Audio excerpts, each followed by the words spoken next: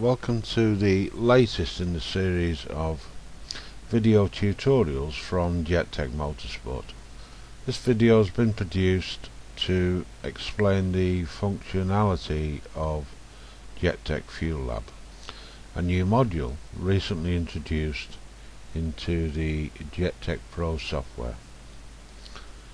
To enter the Fuel Lab module, click the Fuel Lab button found on the right hand side of the Dellorto screen.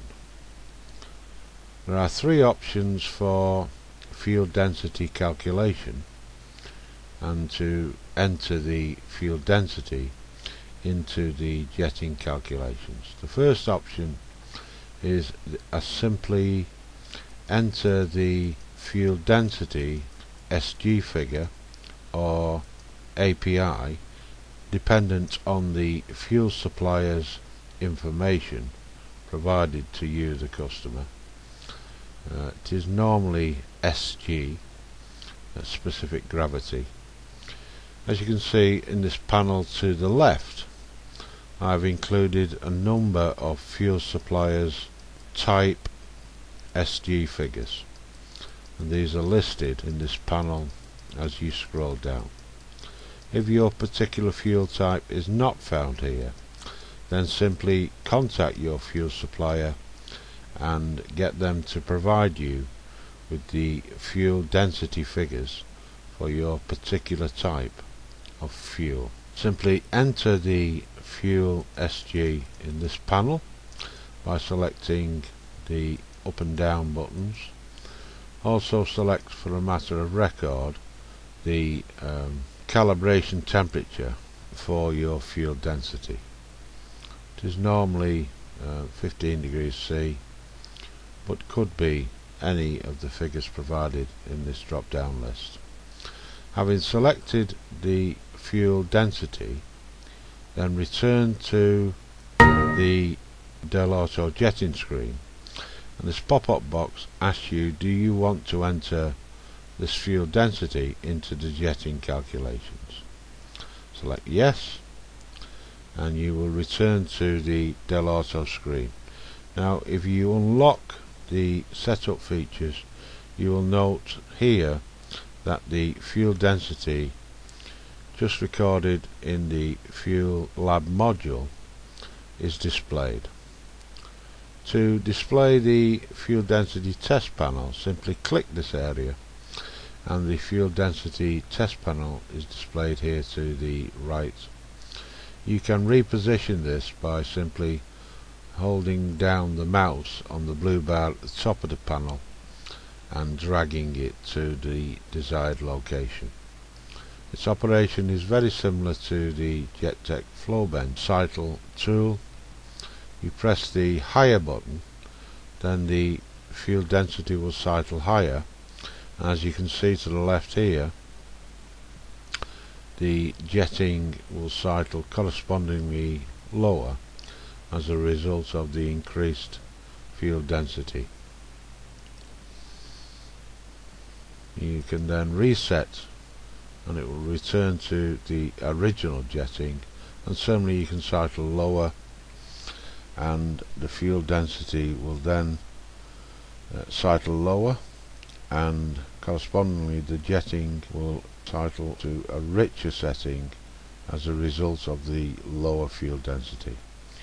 If you exit this panel then the jetting will be reset uh, correctly for the current fuel density. In the diaphragm carburetor screen you have a similar operation.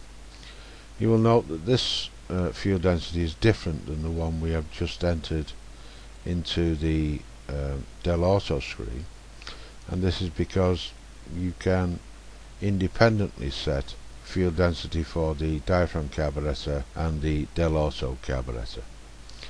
First select either the 2 jet or 3 jet uh, diaphragm carburetor you model that you are using.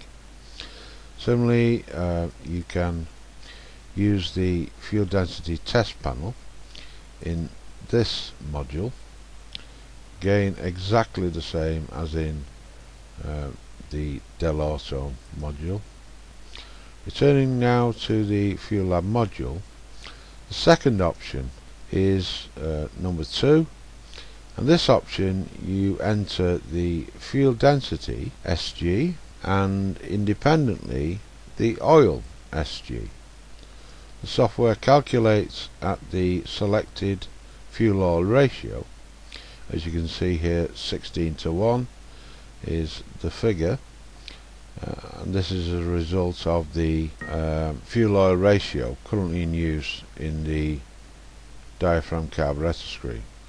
If you had entered the Fuel Lab module from the Dellorto screen, and let's just check that the fuel oil ratio set here at 50 to 1 as you can see. Now if we enter the Fuel Lab module from this screen you will notice that the fuel oil ratio has changed here to 50 to 1. Now the fuel oil ratio is used in this calculation. So the fuel oil ratio corrected SG here displayed at the bottom 756 is calculation as a result of the fuel at 7.54 the oil at 8.76 mixed in a ratio of 50 to 1 and similarly if you then return to either the uh, Dellorto screen or the diaphragm screen you will be asked do you want to enter this new figure? You select yes. The fuel SG of 7.65 has been entered into the Dellorto jetting calculations the final and by far the most accurate method of determining the fuel density is to use a hydrometer an accurate measure of temperature and to complete this operation for the mixed petrol and oil combination. So to determine this figure you would simply use the JetTech fuel testing kit which is supplied by our network of dealers across the world and of course at rotaxjetting.com you would mix a batch of fuel and oil that you intended to use for the uh, race meeting you are competing in and you would complete prior to racing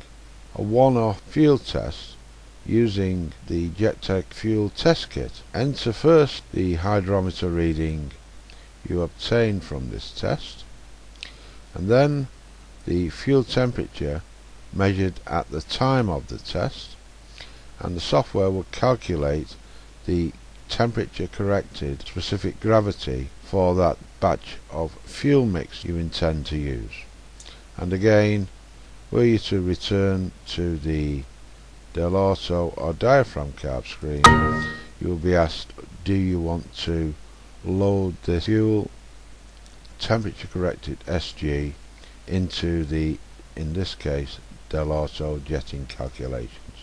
Select yes. And as you can see if I unlock the software the new figure is entered here. I hope you find this video tutorial informative. And please call back regularly at rotaxjetting.com for future developments and products provided by Rotax Jetting